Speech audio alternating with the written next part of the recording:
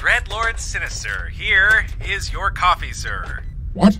I didn't order any coffee. Uh, yes, you did, sir. Three days ago. Three days? Good lord, man, what took you so long? Well, sir, you only wanted coffee from the southwest quadrant. Ah, yes. Julio does make it just the way I like it. The Dread Cruiser is 1,200 miles across. It's the size of a planet. Julio's is literally on the other end of the ship. You know what would go great with this? Some of those little crumbly pastries Julio makes. Uh, so you want me to go back? Would you be a dear so I don't have to kill you?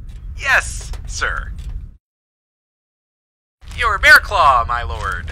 Bear claw? I can't eat that. I'm on a diet. Since when? Two days ago. Where have you been? Lost!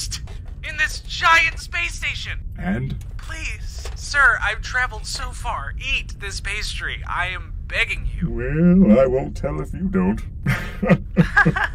Seriously, if you tell, I'll drop you into a quasar. Uh, Oh, you know what would go great with this? oh, please no.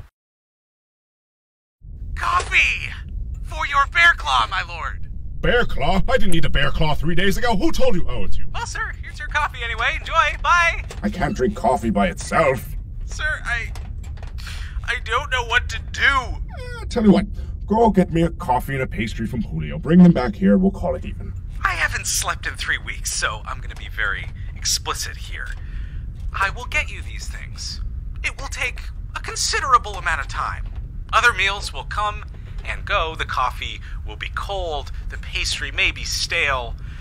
Just promise me that this is what you want. I'm asking for it, aren't I? Go. Ta da! You're right. It does taste just like Julio's. Isn't it great? I had it installed three days ago.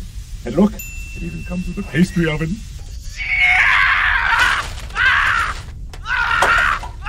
I can't! I cannot! I cannot! What was that?